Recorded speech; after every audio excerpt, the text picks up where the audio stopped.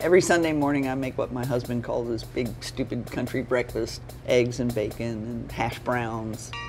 I kind of wanted to just do a version of that on a pizza.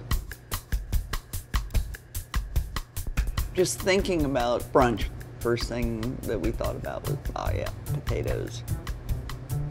We use the russets.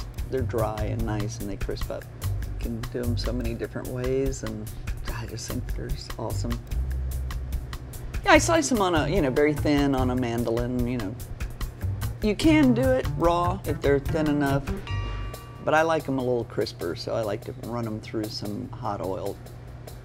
The pizza is a white pizza. We use uh, seasoned ricotta. I like to kind of smear it a little bit. And then we crumble the mozzarella on top of the ricotta.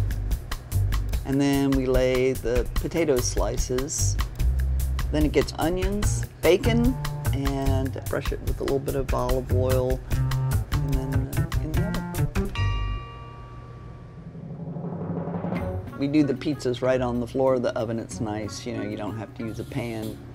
As you turn it, everything gets really nice and bubbly and golden. Potatoes crisp up, gets that good flavor from the wood.